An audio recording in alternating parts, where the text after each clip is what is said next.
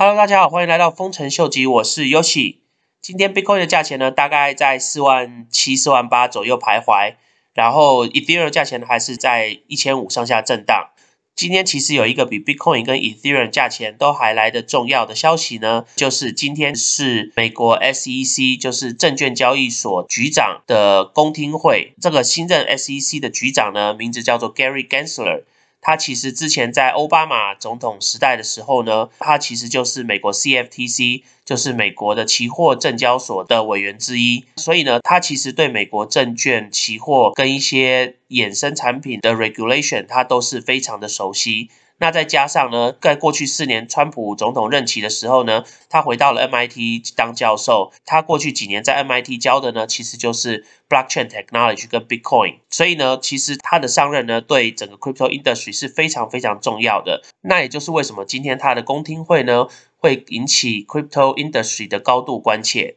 那所以我们现在就要来分析一下，到底 Gary Gensler。这个新的 SEC 的局长呢，对 crypto industry 或是 Bitcoin，他的个人的想法是什么？然后我们从他过往的 interview 跟谈话记录来看，到底他对 Bitcoin 跟整个 crypto industry 往后的发展呢是好是坏？那我们就来探讨一下他之前的 interview 吧。Work as well.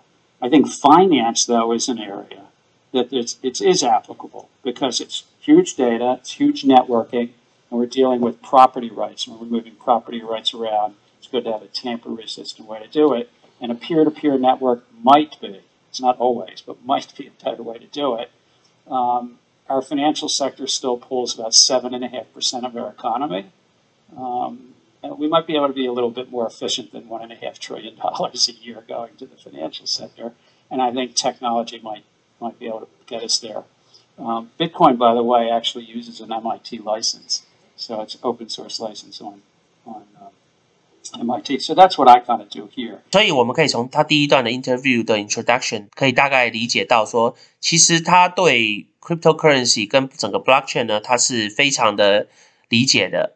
那他也做了深度的研究。当他在 CFTC 的时候，其实他就已经做了很多 research。他觉得整个 crypto industry 呢，应该影响最大的 sector 呢，就是 financial industry。那他觉得呢，blockchain technology 呢，应该是有办法可以 improve，或是有办法。Integrate 到整个 financial industry 的，但是其中到底是如何去 implement，然后如何去 integrate 这个部分的话呢，当然还需要再看整整个 regulation 怎么去架构它。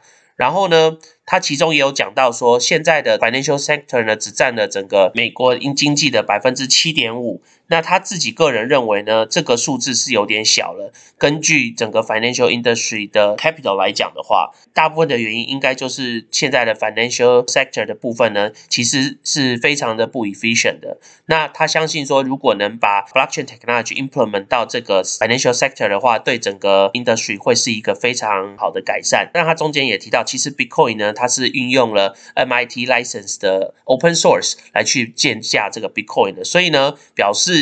他其实对 Bitcoin 的也是一定有深入的研究的。Kind of in a sense conceptually where he is, or particularly if it's pre-functional. If it is not yet up and running, I frankly can't see how it would be anything other than investment contract if it is yet to be functional. But if you're selling tokens to someone who wants to have those tokens because the person wants to participate in that network, what why would that necessarily have to be a security?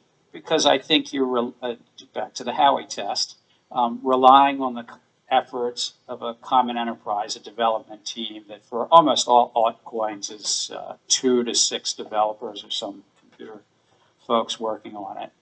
Um, they may or may In not be at one company, but it's a common enterprise of others, and you're buying it at some discount. You're you're you're anticipating appreciation because of its non-functional I can't use it yet to go to the theater. I can't use it yet to get file storage. I can't use it for anything.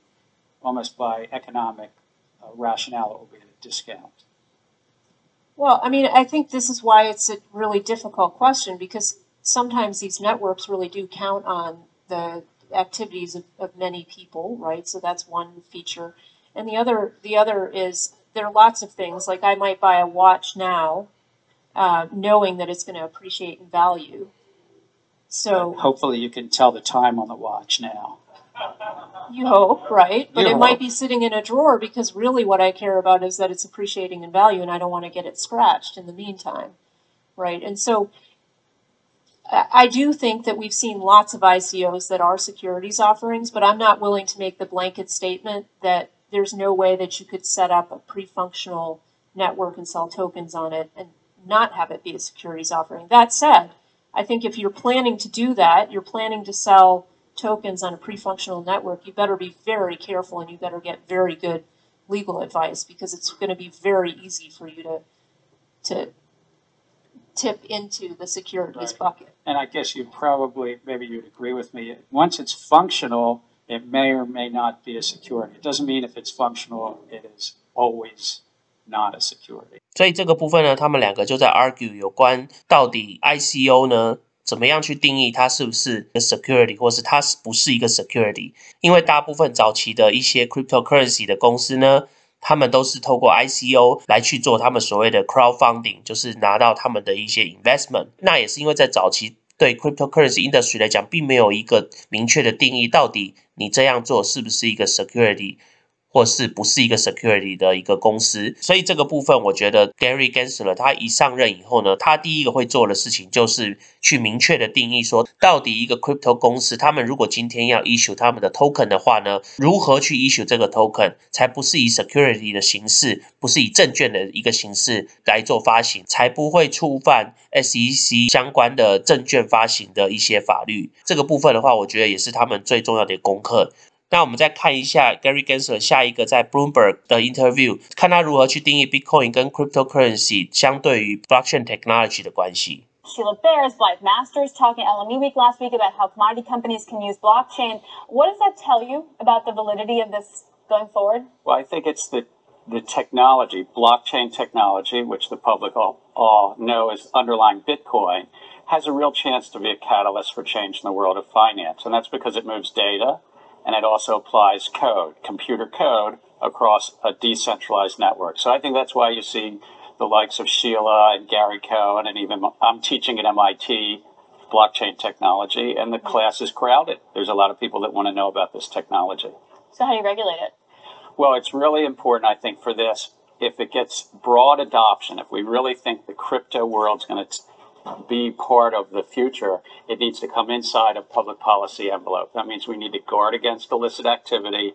And yes, we need to protect investors. The crypto exchanges, big exchanges like Coinbase, need to really come within either SEC or the CFTC, the agency I once uh, was honored to chair, uh, inside of something to protect investors. Let's distinguish two things. One is cryptocurrency and the other is blockchain. Because cryptocurrency may rely upon blockchain, but you can do things with blockchain that you don't do with cryptocurrencies. Right. Do we need to regulate blockchain? Because we don't, don't normally regulate computer programs. We uh, don't regulate JavaScript. D- David, I couldn't agree with you more. We should be technology neutral to promote innovation, but still, in being technology neutral, I'm agreeing, not regulate the blockchain technology, but just ensure that its application, like cryptocurrency, investors are still protected.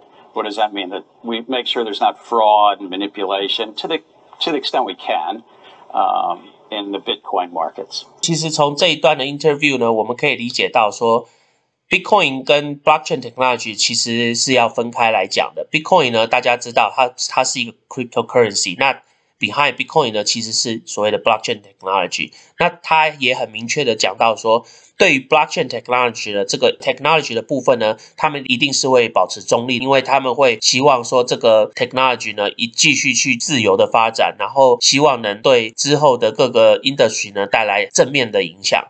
那但是所谓的 Bitcoin 跟 cryptocurrency 的部分呢，因为他们是所谓的 investment 的产物，所以他觉得今天如果 Bitcoin 跟其他 cryptocurrency 呢，已经开始越来越多人 adopt，越来越多人采用，越来越多人应用，越来越多人投资，越来越多人做 trading 的话呢，他觉得也一定是要有一个明确的 regulation。我觉得这个对 Bitcoin 跟 crypto industry 呢是有好有坏。好处的话是，一旦 cryptocurrency 被政府 regulate 的话呢，它会吸引的 retail 投资者跟 institutional 投资者就会越来越多。那表示它的 market cap 呢就一定会越来越大。其实现在有很多 institutional investor 呢，他们不敢进到市场，就是因为他们身上背负着很多 regulation 的压力，因为他们很怕去触及到任何 SEC 或是 CFTC 的一些法规的问题。那一旦政府给出了一个明确的一个 policy 跟一个法律来给这些 institutional 来去 follow，可是呢，相对于的不好的部分就是 cryptocurrency 它本身当初创立的意义就是 decentralize，